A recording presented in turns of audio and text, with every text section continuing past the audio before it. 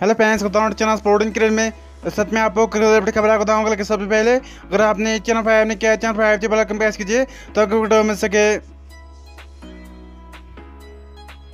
पहले वीडियो खबर कर निकल के आ रहे आयरलैंड और साउथ अफ्रीका के बीच जो तीसरा वनडे मैच खेला गया, उसमें अगर बात की जाए तो बहुत ही बेहतरीन बल्लेबाजी जानिमन मिलान ने की, जिन्होंने एक सौ सत्तर रनों की ज़बरदस्त पारी खेली, और जिसमें अगर उनने एक नया रिकॉर्ड बनाया, जिस रिकॉर्ड के मुताबिक उन्होंने एबी डिविलियर को पीछे छोड़कर अगर बात की जाए तो साउथ अफ्रीका का चौथा यानी बल्लेबाज बन गया, जिन्होंने सबसे ज़बरदस्त बल्लेबाजी करते हुए एक सौ सत्तर रनों की पारी खेली। इससे पहले ये गैरी कास्टन ने एक सौ अठासी रन बनाए थे यूएई के खिलाफ उन्नीस सौ छियानवे में, और पैप डिप्लेसिस ने बनाए थे श्रीलंका के खिलाफ 2017 में, और एक रनों की पारी उन्होंने खेली थी, और एक सौ अठहत्तर रनों की पारी क्वेंटन टी कॉक ने खेली थी ऑस्ट्रेलिया के खिलाफ 2016 में, और अब जानिमन मिलान ने भी एक सौ सत्तर रनों की पारी खेलकर, यानी आयरलैंड के खिलाफ 2021 में, इसके अलावा बात की जाए तो एबी डिविलियर ने एक सौ छिहत्तर रनों की पारी खेली थी। बांग्लादेश के खिलाफ 2017 में सच की बड़ी खबर निकल के आ रही है।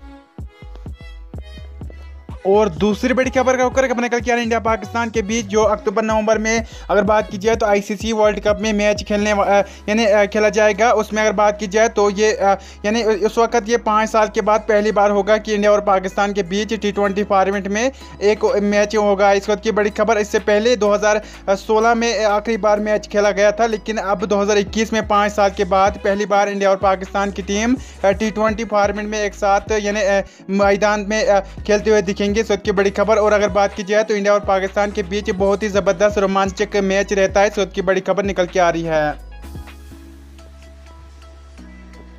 और तीसरी बड़ी खबर का होकर निकल के आ रही भुवनेश्वर कुमार के वाले की बड़ी खबर। भुवनेश्वर कुमार के मुताबिक आईसीसी वर्ल्ड कप में जो पाकिस्तान के खिलाफ मैच है, सबसे ज़्यादा प्रेशर उसी पर रहेगा। उनके मुताबिक अगर देखा जाए, अगर पाकिस्तान की टीम कितनी भी, यानी उनके पास अगर बल्लेबाजी और गेंदबाजी नहीं भी होगी, फिर भी पाकिस्तान की टीम के सामने बहुत ही ज़्यादा प्रेशर रहता है। उनके मुताबिक अगर देखा जाए तो इंडिया के पास इस वक्त बहुत ही बेहतरीन गेंदबाजी लाइनअप और बैटिंग लाइनअप है, लेकिन फिर भी पाकिस्तान के सामने बहुत ही ज़्यादा प्रेशर रहता है कहना है, भुवनेश्वर कुमार का। और चौथी बड़ी खबर का होकर निकल के एडम जिम्पा के हालत की बड़ी खबर। ऑस्ट्रेलिया के बहुत ही बेहतरीन leg break bowler Adam Zampa के मुताबिक अगर उनको टेस्ट मैचेस में खेलने का मौका मिलता है तो वो बहुत ही ज़बरदस्त गर्व महसूस करेंगे। उनके मुताबिक अगर देखा जाए तो टेस्ट क्रिकेट बहुत ही बेहतरीन क्रिकेट है और ज़बरदस्त रियल क्रिकेट है। और उनके मुताबिक अगर टेस्ट क्रिकेट में उनको जगह मिलती है तो वो बहुत ही ज़बरदस्त महसूस करेंगे। और उन्हें कहा कि आने वाले समय में अगर उनको टेस्ट मैचेस में मौका मिलता है तो वो बहुत ही ज़बरदस्त गेंदबाजी भी करेंगे। कहना है एडम जिम्पा का।